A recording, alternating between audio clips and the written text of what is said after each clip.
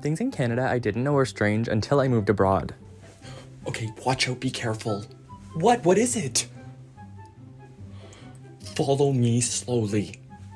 What are we hiding from? Don't you see it?